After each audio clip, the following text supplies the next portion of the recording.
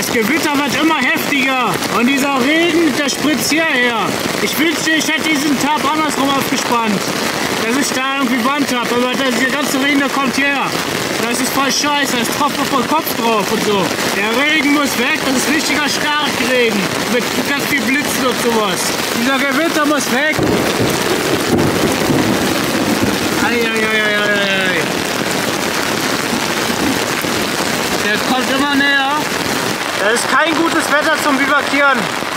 Ich glaube, ich habe noch nie so ein heftiges Gewitter hier in Deutschland erlebt, wie jetzt gerade. Guck mal, wie, wie heftig das hier die ganze Zeit rumblitzt. Das will einfach nicht aufhören. Das geht die ganze Zeit so. So eine ganze letzte Stunde.